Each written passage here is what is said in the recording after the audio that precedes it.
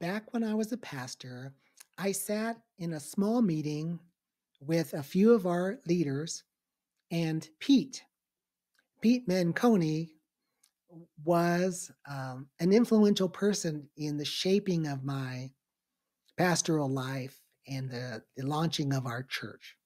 And Pete asked me in front of my leaders, Do your people know your story? And I said, What story? And he said, Your story of race, your story of yourself as a man of color, and the pain in your journey. I said, No, they don't, because I don't even know that story.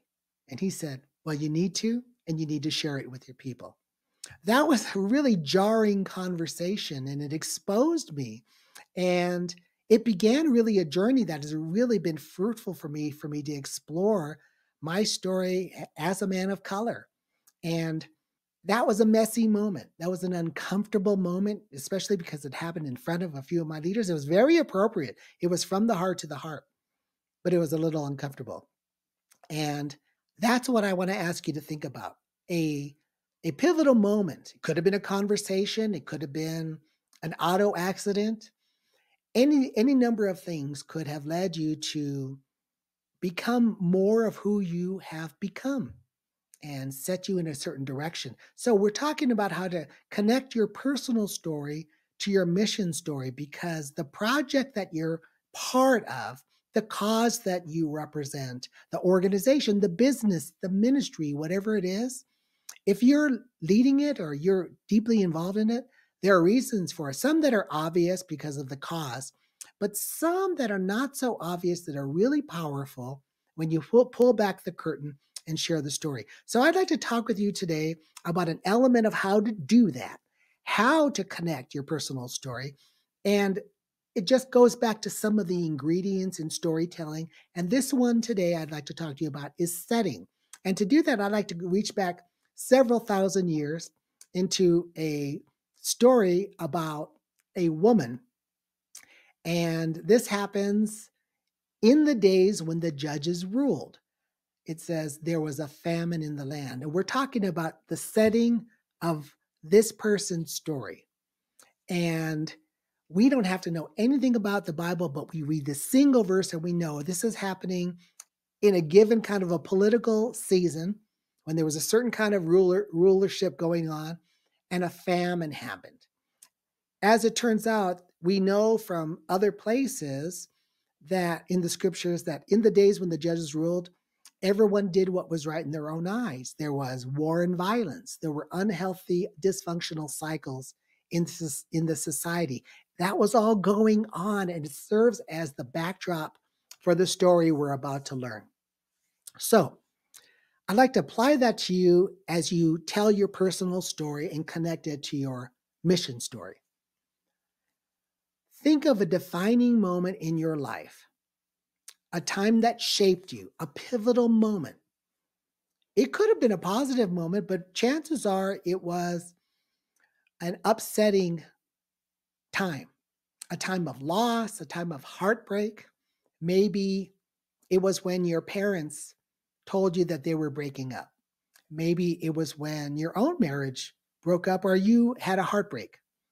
Maybe it was during a time of a health scare and a diagnosis.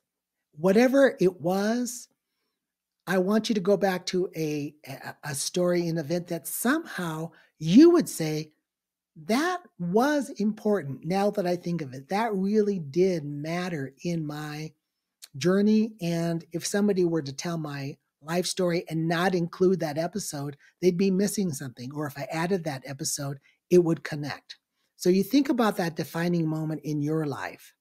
And so the setting question asks, what else was happening at that time? What was happening in the world? Was that way back in the time of the Vietnam War? Was that in the 80s? Did it happen in, in the in the against the backdrop of 9/11 or the pandemic? These background pieces. I told you that my conversation with Pete happened when when I was a pastor uh, of a congregation, and I'm no longer. And really, that conversation was pivotal to me arriving at what I do today, serving people of color, serving, um, you know, urban faith leaders, different people. You know, it's like I I I went through a journey that led me to my own personal calling for this particular season. So I didn't realize that at the time, but I realize it now. So, what is a pivotal moment in your story? How did it somehow lead you to where you are today? When you get up at a fundraiser, or you get up on a Sunday morning to get, deliver a sermon at, a, at an important mo- morning, or, or you make a presentation or pitch, it'll come from the heart and, and touch hearts when you say, you know, back when I was nine years old, this happened in my family. And after that, our family was never the same. And as you kind of tell that story, just enough to give the, the connection, you say, and that's part of why I'm standing before you today. And when you do that, it's powerful. So give that some thought. I'd love to know what you're thinking about in your story and the setting of it.